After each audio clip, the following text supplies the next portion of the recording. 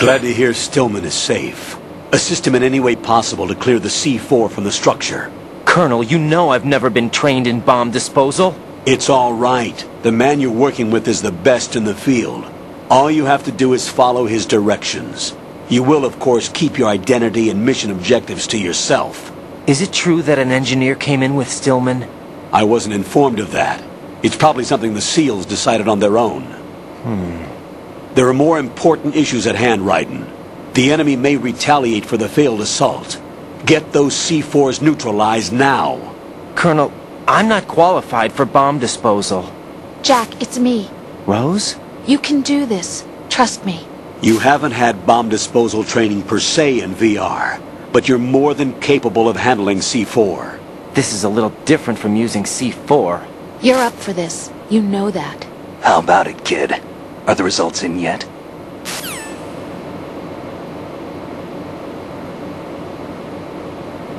There's no need to think about this so much.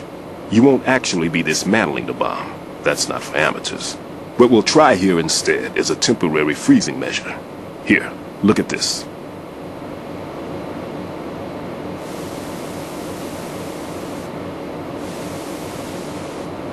This is a C4 bomb.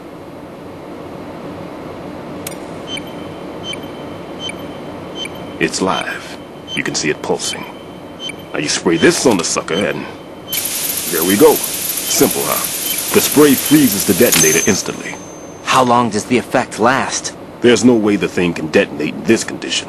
Even if you leave it alone, it'll stay out of commission for at least 24 hours. That's enough time. If we had the manpower, I'd recommend complete disposal. But this will have to do. The spray can be used from several yards away.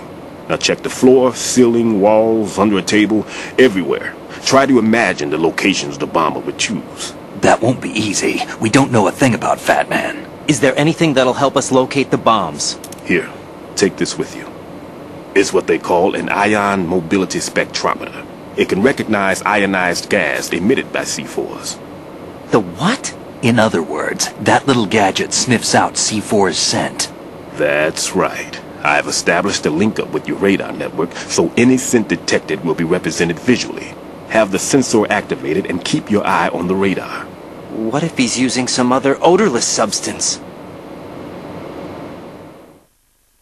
I know Fat Man well. I know how into his own aesthetics he is. Signatures? Yes, on every bomb he builds, he always leaves a trace of the cologne he uses. The sensor also picks up that particular scent spectrum. Is that something he learned from you? No, it was his own quirk.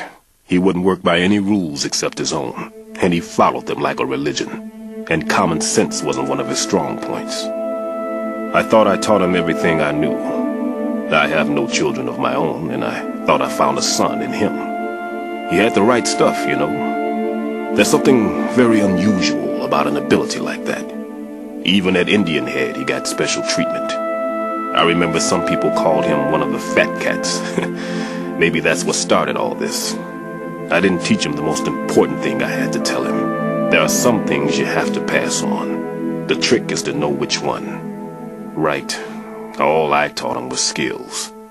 And now I have to stop him from using it to destroy us all. Let's see how well that sensor works. All right. I'm activating them. Watch. You see the green stuff on the radar? That's a visual representation of the C4 scent detected by the sensor. It's a pretty big area, isn't it? Don't complain. It's better than nothing. Just activate the sensors and search the area, okay? All right. Don't forget that you need the radar to use this system. Log into the node at every strut and turn the radar on. We have to keep out of the enemy's sight, too. Because the radar gets knocked offline when we're spotted? Exactly. Fat Man would have allotted some C4s here in Strut C as well. Here?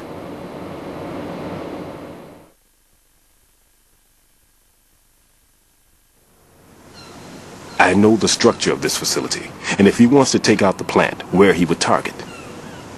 You know this for sure? Of course. I taught him the techniques he uses. His ideas are based on my theories.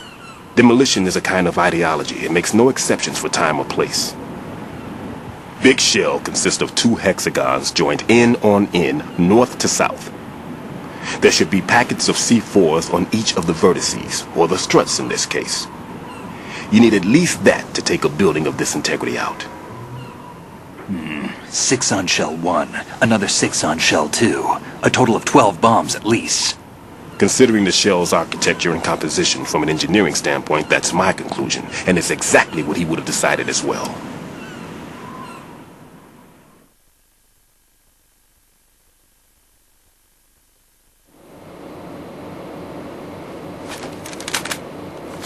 Kid, this place is all yours. I'll take care of shell two.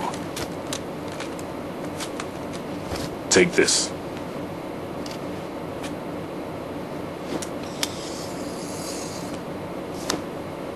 What's this?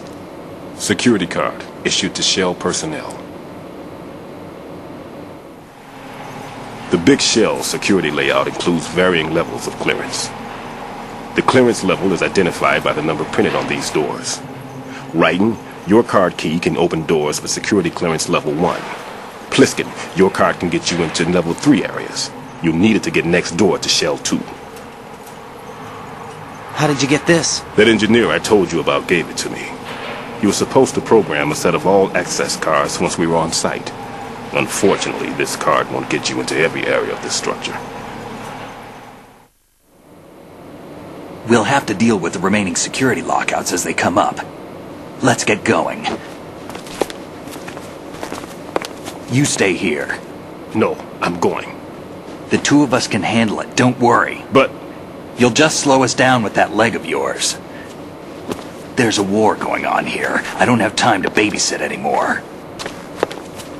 Why don't you just let us handle the grunt work? You can tell us what to do over the radio, like in the original mission plan. All right. I'll give you instructions from here. I may also need to prepare a backup plan just in case. In case of what? Good luck to both of you.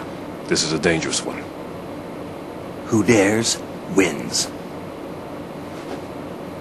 If anything comes up, let me know. My frequency is 140.25. Good luck, kid. I'll see you later.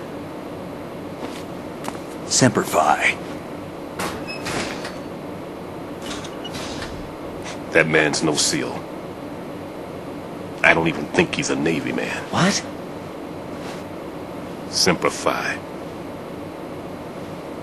Marine Corps talk.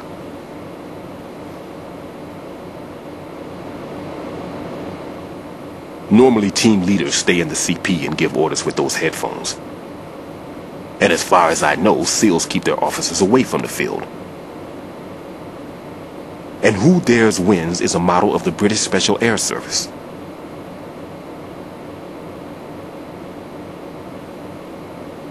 He one of the terrorists then? No, somehow I don't think so. If there's someone to suspect, I'd put my money on you.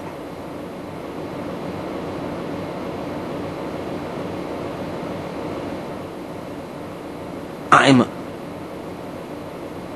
Just take care of those bombs for now. What about you? They could be back in this area soon.